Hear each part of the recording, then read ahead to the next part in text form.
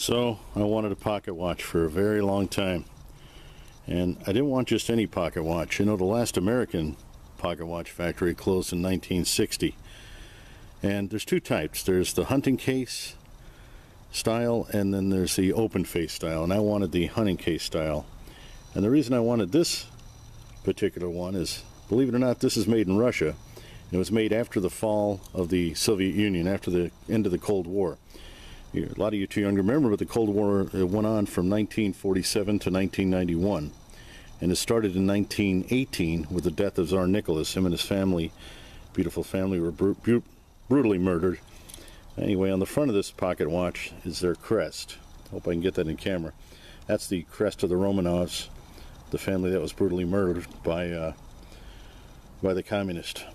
And uh, on the back is St. George slaying the dragon. And he's kind of interesting. He uh, he died uh, defending Christianity from the Emperor Diocletian. Then a thousand years later, he slew a dragon in this village. And that sounds crazy, but to this day in this village, they still find dinosaur bones. So was it a dragon? Was it a dinosaur? I don't know. Did he come back to life after that? Who knows? I know during the Crusades, people say he was there and he's been seen in World War One and World War Two as well. So kind of odd. But I thought I'd show you the pocket watch. Whenever you get a mechanical pocket watch, uh, to open it, you're going to press the top like this. You give a little press, it opens up like that, and there's that exposes the face. And this is kind of cool. It's uh, Roman numerals. Let's see if I can get that in camera. It's Roman numerals that go around. It says made in Russia, not the CCP, so that's kind of interesting when you close a pocket watch, get, get it like this and then press in again and then snap it and that'll protect your latch. But that's uh, that's the pocket watch I got. It's a Molnija. That means lightning in Russian. And I thought I'd share it with you. It's mechanical. It has 18 jewels inside. And the jewels, they're friction points that keep the watch running. So if there's an EMP event, I don't have to worry about, uh, gee, do I need a watch battery? Am I going to know what time it is? Because I got this. And uh, just thought I'd show it with you. It's kind of cool. It's reminiscent of a of a bygone time. You know, if you'd have been there that day and you'd seen President Reagan at the Brandenburg Gate, and he was telling Mr. Gorbachev to tear down that wall, it was uh, pretty cool. For a moment there, we thought we'd have world peace, but uh, wasn't to be.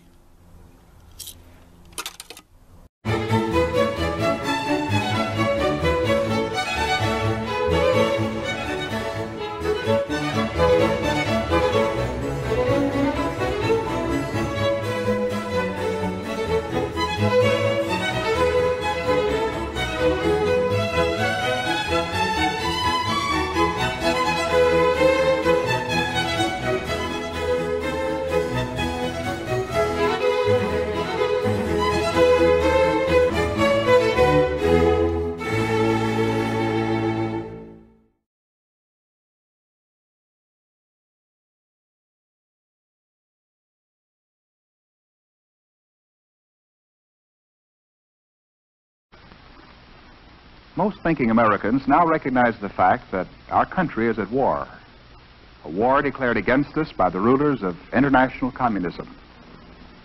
It is called a Cold War because armed forces, although used as a threat, are rarely unleashed, and blood is not spilled in the massive battles that we think of as war. The communists realized that they could not survive the destructive force of an all-out conflict, so they adopt the Cold War tactic Nevertheless, their objective remains the total conquest of all the earth. I call upon Chairman Khrushchev to halt and eliminate this clandestine, reckless, and provocative threat to world peace and to stable relations between our two nations.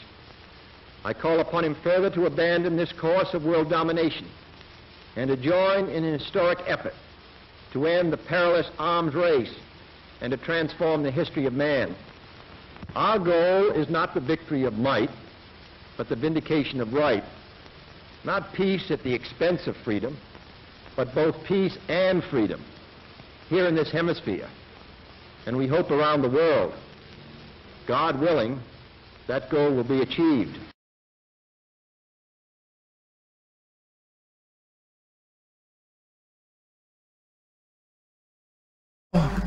Now the Soviets themselves may in a limited way be coming to understand the importance of freedom. We hear much from Moscow about a new policy of reform and openness. Some political prisoners have been released. Certain foreign news broadcasts are no longer being jammed. Some economic enterprises have been permitted to operate with greater freedom from state control.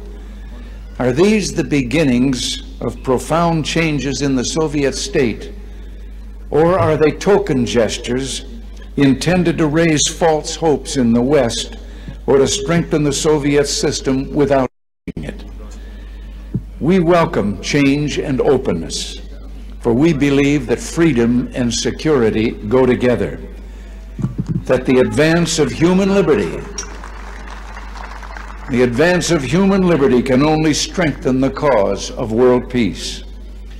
There is one sign the Soviets can make that would be unmistakable, that would advance dramatically the cause of freedom and peace. General Secretary Gorbachev, if you seek peace, if you seek prosperity for the Soviet Union and Eastern Europe, if you seek liberalization, come here to this gate. Mr. Gorbachev, open this gate.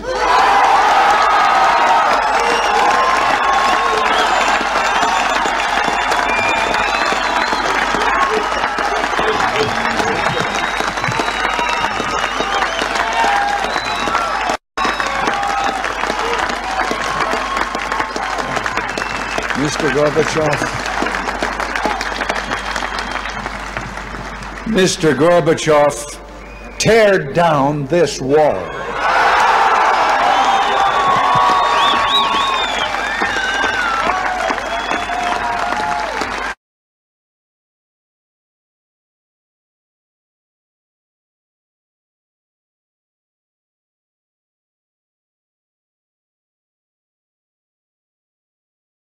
Rely they on? serve purpose only at the stage of destabilization of a nation. For example, your leftists in, in United States, all these professors and all these beautiful civil rights defenders, they are instrumental in the process of the, of the uh, uh, subversion only to destabilize the nation.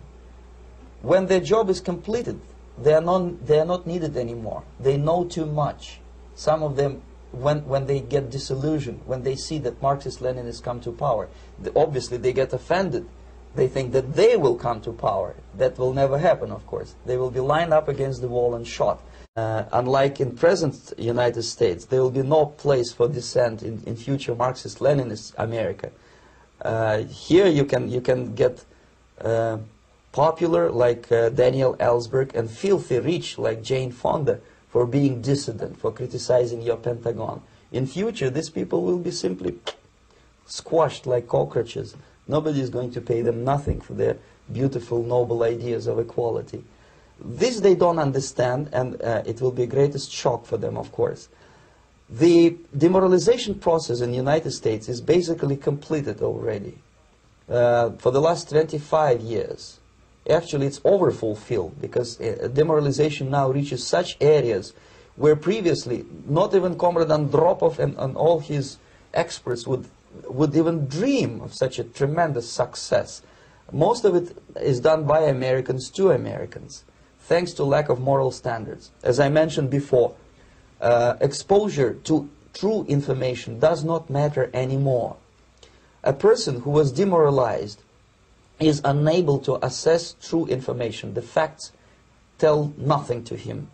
Uh, even if I shower him with information, with, with authentic proof, with documents, with pictures, even if I take him by force to the Soviet Union and show him concentration camp, he will refuse to believe it until he, he is going to receive a kick in, the, in his fat bottom.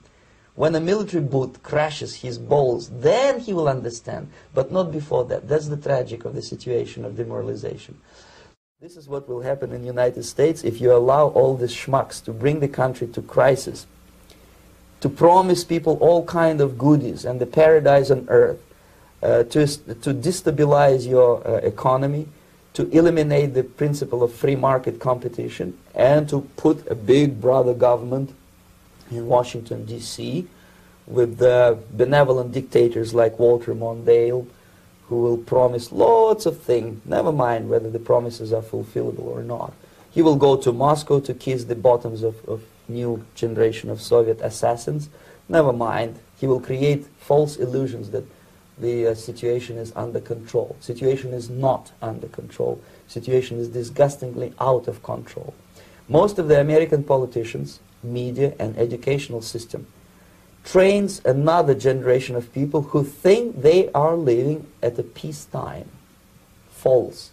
The United States is in the state of war, undeclared total war against the basic principles and the foundations of, of this system.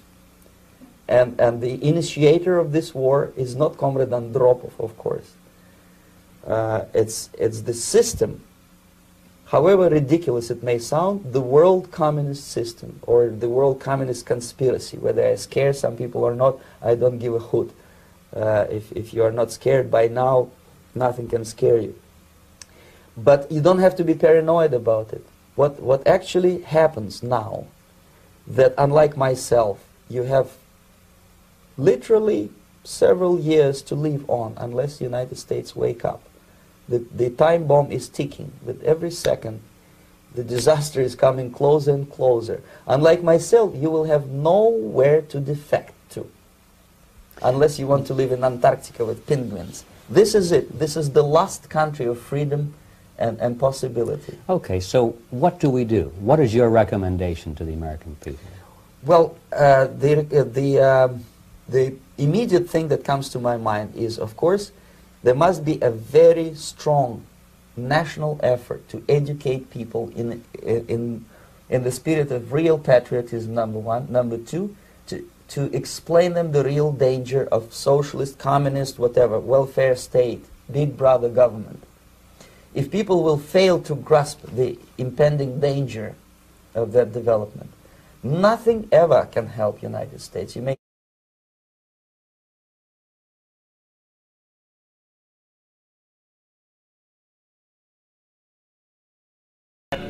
Stay safe, stay warm, stay free.